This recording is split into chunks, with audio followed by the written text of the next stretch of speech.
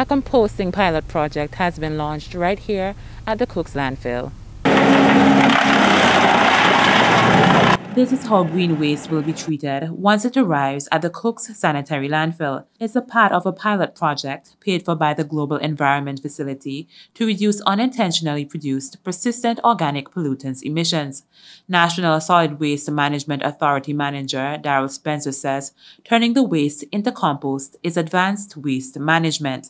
This is discontinuing the practice of dumping and recognize that there is value to some of this raw material that comes to Cook's landfill. This is how the program will work.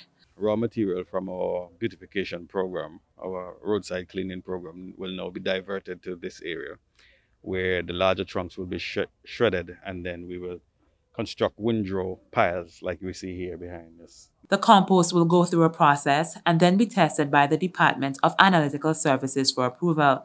Dr. Linroy Christian heads that department and is also the focal point for the Stockholm Convention, a global treaty to protect human health from the effects of organic pollutants. The methane that is generated from the decomposition of organic waste is 80 times worse than carbon dioxide in deteriorating our ozone layer and is responsible for the ground level production of ozone that destroys your lungs.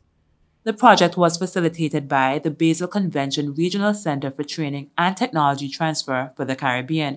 Brian McCarthy, the BCRC's consultant on the program, says separating green waste from others is necessary to ensure it can be turned into compost. The typical load of green waste as it arrives is full of plastics and other contaminants, which means these guys have to spend more than half their time extracting that plastic. And with 102 tons of green waste arriving per day, they just cannot keep up with that influx. The NSWMA manager says this is what will happen once the compost is made. The first few um, bags or packs of compost will be given to our, um, our partners so that we can test it, we can try it out, and then thereafter we'll make it available to the public at a very reasonable cost. Jessica Russell, ABS News.